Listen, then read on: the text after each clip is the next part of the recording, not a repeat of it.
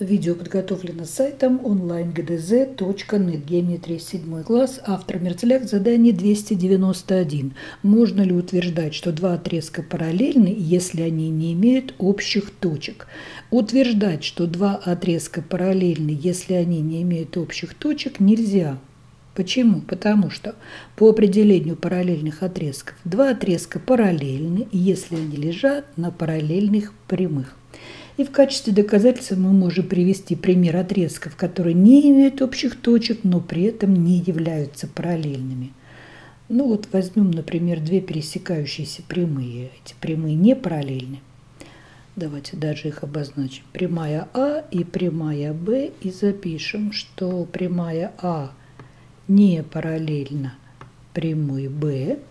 Но на прямой А мы можем выбрать отрезок АБ, а на прямой Б можем выбрать отрезок CD таким образом, что отрезки, а, отрезки, давайте запишем, отрезки, отрезки АБ и CD не имеют общих точек. Не имеют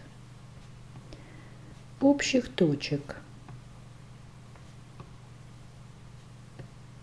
При этом, поскольку отрезки лежат на пересекающихся прямых, то они параллельными не являются.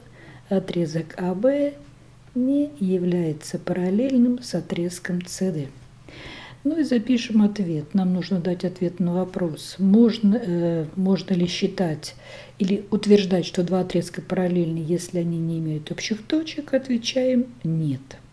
Задание выполнено. Если вам понравилось видео, не забудьте поставить лайк, а если у вас появились вопросы, пишите в комментариях.